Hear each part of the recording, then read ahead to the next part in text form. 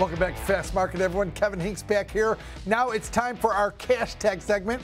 I'd like to bring in the Vice President of Research at Likefolio.com. That is Miss Megan Brantley to the show. The two Kevins say happy Friday, Megan. Megan, we're looking at AMD. It's been, you know, stamped as the number one competitor to NVIDIA. But boy, is it really competing, Megan?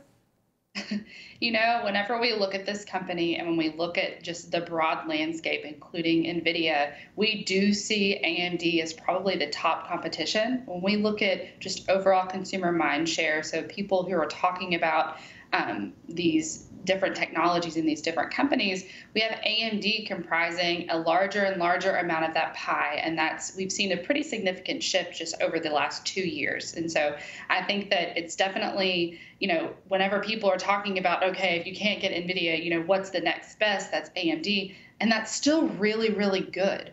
Whenever we look at overall levels of consumer happiness, we actually have AMD higher than NVIDIA. And so I think that this is one that we're not quite ready to count out. And this is also an interesting scenario because, you know, semiconductor stocks have been crushed this last week over a lot of geopolitical concerns and um, impacts of potential trade restrictions with China. And we haven't necessarily seen an equal response from the market. When we look at Nvidia, I think it's trading down about 9% over the last five days. You know, AMD is trading close to 18% lower over the last nine day, five days. And so for us, we're seeing a more severe reaction for AMD. And when we look at our data in terms of what people are actually talking about, um, at least among English speakers, um, we see that demand still very robust and that happiness level still very high.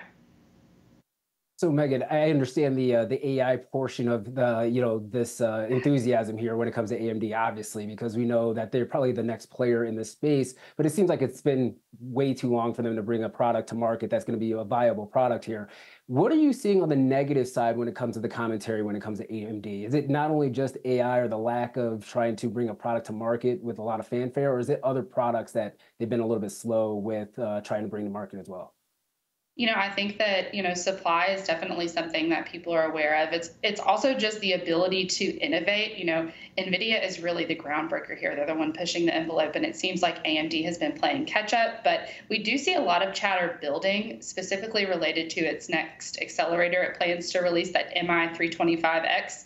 Um, it's allegedly has a better bandwidth and memory and that's something that users are excited about but they like like you mentioned they want to see it now um, they want to see it soon and so this is something that we'll be closely watching because it could be a nice um, growth prospect for amd when they do release this chip will be or this accelerator will be listening really closely for what that consumer demand looks like. We assume very high. But um, I think there's also just a concern for a slowdown in growth that, you know, are things going to start to temper out after a lot of explosive growth that's driven by this AI interest? You know, Megan, when I look at your consumer happiness chart, I see that AMD is four points higher than NVIDIA. NVIDIA, though, the clear number one. How much of that do you think is well, I'm frustrated because I can't get NVIDIA. I can get AMD, but settling for second, I like that. You know, you're right. The, the right answer to this question is both of them are really good. One's just crazy good, and the other one's really, really good. But are, do you think NVIDIA's customers are frustrated because they can't get the chips?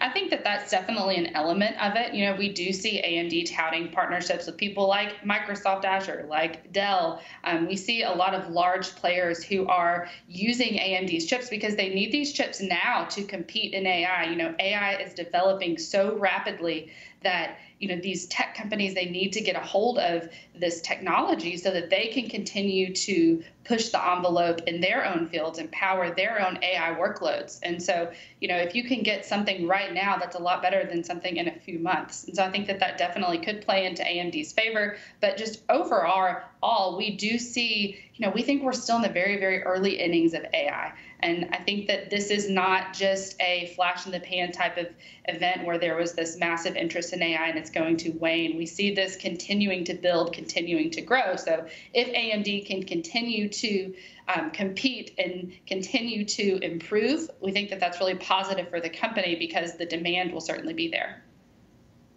So, Megan, on the software side of the equation here when it comes to AI, because we've already talked about hardware, are you seeing any type of differences there as well? I mean, NVIDIA, even though it's a very small slice of their overall revenue mix, seems like they are trying to ramp up the software platform to complement the GPUs that they're putting into the space. AMD is going more open source and maybe takes a little bit longer in order for it to develop. Are you seeing any type of split there on the software side, or if you're seeing any comments at all? you know our, our mentions just because we're listening to like your typical consumer i think that that's a little bit deeper than most consumers go whenever they're comparing amd and nvidia. So i don't have as as much insight to give you from the consumer side there but i do think that it's interesting to see nvidia uh, making a play there and making improvements there. If anything in a way it seems like iron sharpens iron. And so if that may light a fire under amd to continue to improve and continue to innovate yeah, I don't know what Kevin just said there either, so don't worry about it, Megan. He confused me as well, so he's getting deep into the woods here. We just want to trade, Kevin. We, we just want, is the stock going up or down? Megan Brantley, thanks for coming on so much and spending some time with us. Kev, you have a trade now in AMD. You know,